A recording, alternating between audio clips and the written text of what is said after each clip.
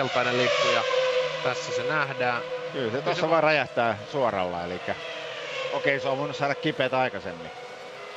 Ja tossa vaan sanoo sitten box.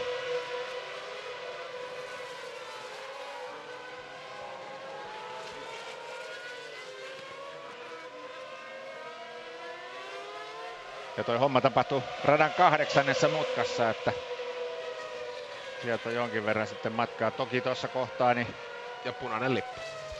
jos sitä kipittäisi radan poikki, niin pääsisi aika äkkiä varikolle, mutta kun ei varmaan sitä, sitä ei saa tehdä, niin sieltä on aika matka takaisin tuonne varikolle.